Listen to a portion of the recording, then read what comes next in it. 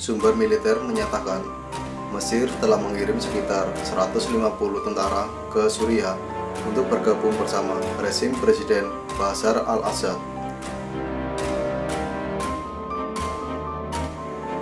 Para tentara itu dikirim ke Aleppo, Idlib, berkoordinasi dengan Garda Revolusi Iran melalui bendahara militer Hama. Ungkap laporan Anadolu bersama sumber militer. Para tentara itu kemudian dikerahkan ke wilayah Khan al-Assal di barat Aleppo dan sekitar kota Sarakib di selatan Idlib. Tentara asal Mesir itu dikerahkan dengan senjata ringan dan didampingi kelompok yang didukung Iran di garis depan melawan faksi-faksi oposisi Suriah.